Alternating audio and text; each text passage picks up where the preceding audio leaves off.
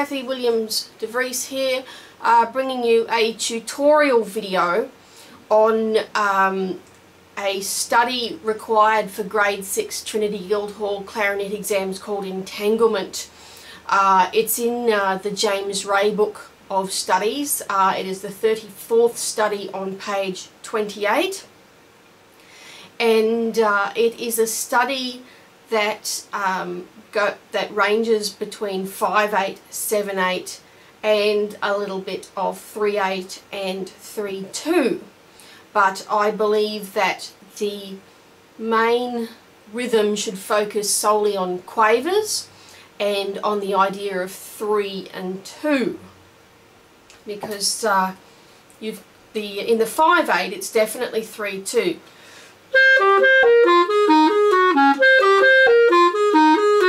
so you must have up in your head um, and you could uh,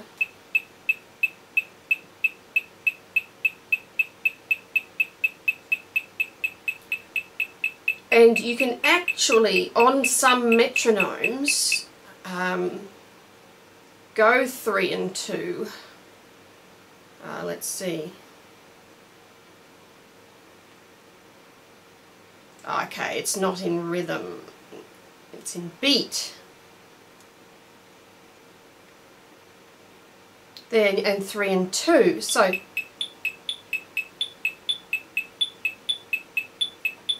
so the best thing to do is get um, I just have a little Boss Dr. Beat um, uh, metronome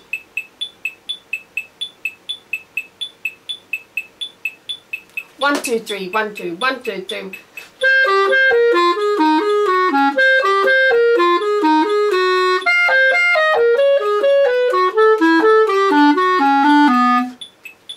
So I recommend that you get one of these. Um, the predominant um, rhythm is 3 and 2. Uh, in the 7 and 8 it's a 3 and 4 or 3 and 2 and 2.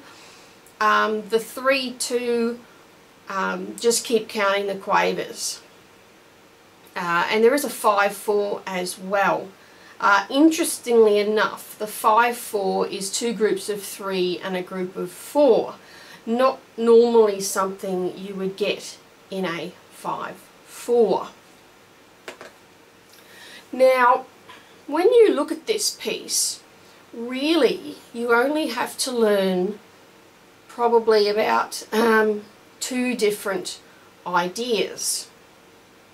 Because the first idea going from the forte um, up to the bar 9 piano is repeated in the piano. Um, and then you come to the section uh, in 7-8 and you discover that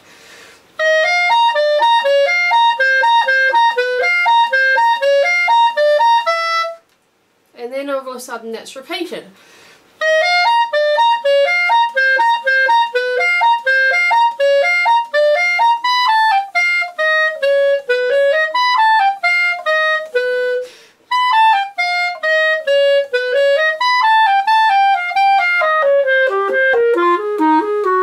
And all of a sudden into uh, the first tune again. Now I do recommend that a lot of the time um, in order to make things a little bit easier for yourself uh, you can leave the right hand down especially in the first and third bars where you're going from a D to a A back up to a D, C, G you can actually leave a lot of the right hand down. I prefer to leave two fingers down just so that um, the G isn't a little bit too fuzzy, but leave it down. In fact, I would, I would leave those three fingers down. You know, I'd leave that down for the whole bar. Now, the next bar you want a really clean B flat to F um, and the way you do that is by see see how I just sort of roll my thumb up I roll my thumb up to the register key because if you keep the um, hole down on the B flat, it's really fuzzy. And you may want to take that out um, by itself.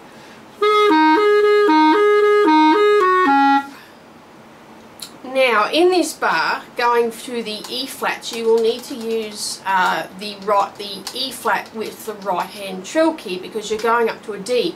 If you use this E flat, it makes it really hard to get to the D because you've got a you've got a slide and it's messy. So, thumb away from the thumb hole, then up to the register key, and go from the A flat to the E flat. And then we repeat the first bar.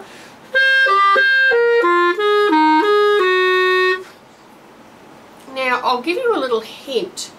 Um, a lot of this exercise in the first and third parts of it um, are in what we call the throat tone area or um, G, A flat, A and B flat. Um, traditionally not a really nice register of the clarinet and um, but a little trick when playing a G and an A flat if you stick these two fingers down um, in addition in addition to making it easy to get to the um, the D's and the C's is that it sounds a little better. I'll show you.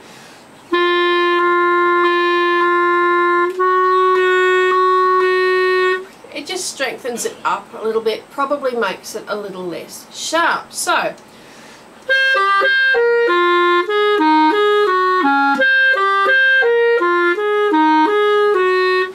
play that I'll play that slowly so you can play along and you can see what I do with my fingers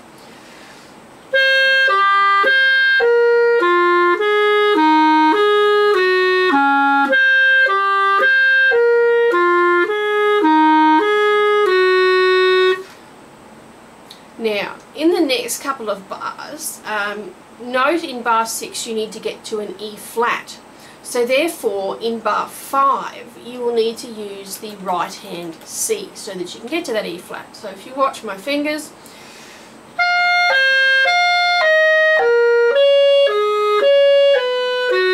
note I leave the two fingers down for the A flat because then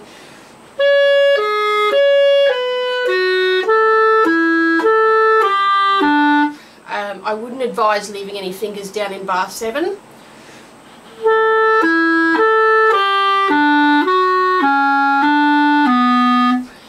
In bar 8 you can use either D sharps, remembering of course that a D sharp is an E flat. So if I play the entire first phrase slowly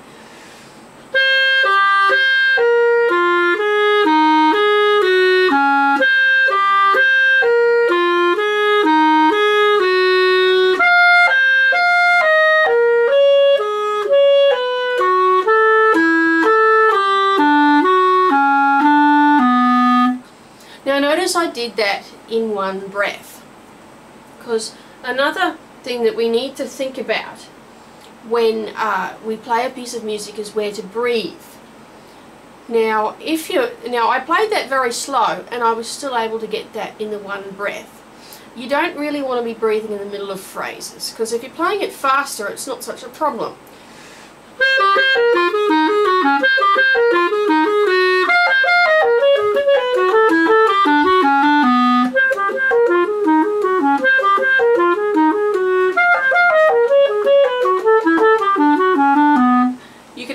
Play the first two phrases uh, without needing a breath. Um, if you absolutely desperately do need a breath, breathe after the fourth bar and the eighth bar and the twelfth bar. Um, but that's only if you desperately need a breath. It's actually really important to figure out where you're going to breathe because when you get to a concert or exam situation you want to have that stuff worked out so that you don't panic and you want to mark it in. So the second phrase, it's piano, but it's exactly the same as the first. So now we come to bar 17 and uh, this next phrase um, is four bars long before it's repeated somewhat. So.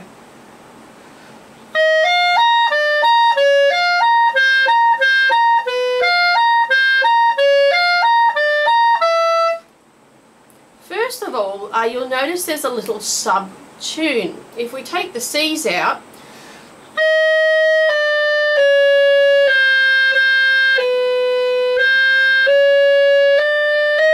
if you take the um, upper notes out, what you want to do is um, bring those notes out a little bit, put a little tenuto on the lower notes.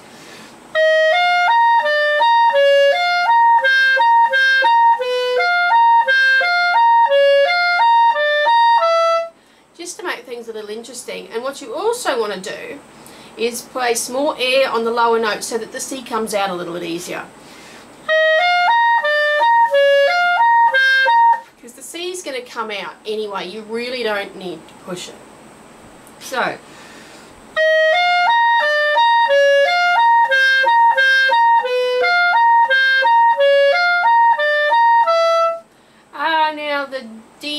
Flat. Now you really want to coordinate actually these fingers. Going from a D to the C is not easy. Because you're raising quite a few fingers. So you want to coordinate that.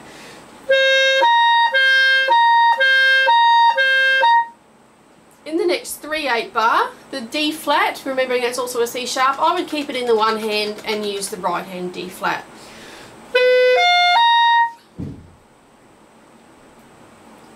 Now the next phrase is very similar but a slight change. Um, instead of 5, 8, 7, 8 we've got um, 4, 3, 8 bars.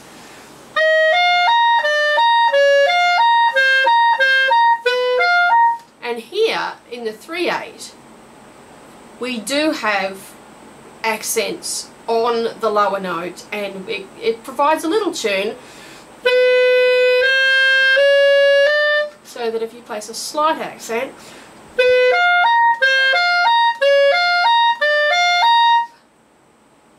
okay. So that whole that whole couple of phrases.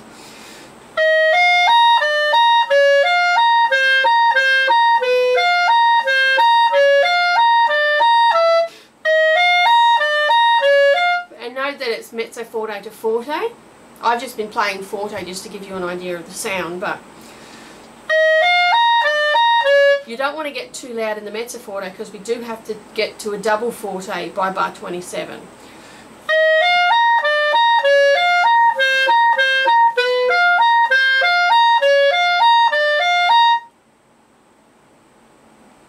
Okay, and then we've got the 3, 8 and 5 4 bars before we get to um, the original first phrase.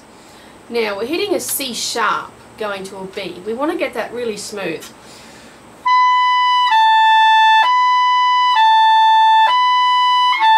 And I should note that uh, those wide leaps between the D and the C need to have really, really nice legato. You don't want, you want, and you get that easier if you place a little bit more emphasis on the lower note. But you want to go from C sharp to B. want to use the, the top lip a little bit and really pull it down so that you don't uh, squeak.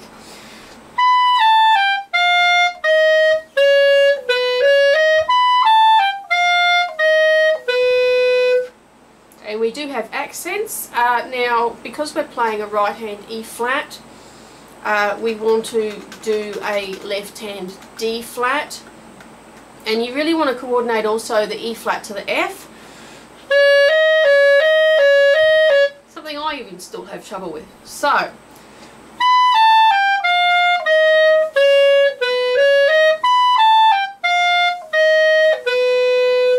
and all the time counting in your head tick tick tick tick tick tick tick tick so that you hold the C sharp for five ticks.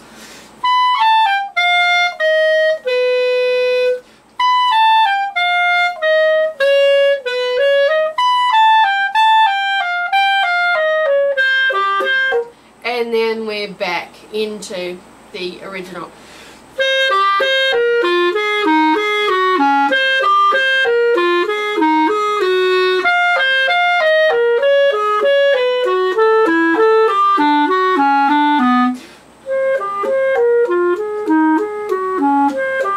So what I'll do is I'll play it through uh, at a few different speeds just for you to get an idea. Um, it says frantic, so I'm assuming it's about as fast as you can possibly play it. But uh, let me play it at a slow speed for you, and you can watch my fingers.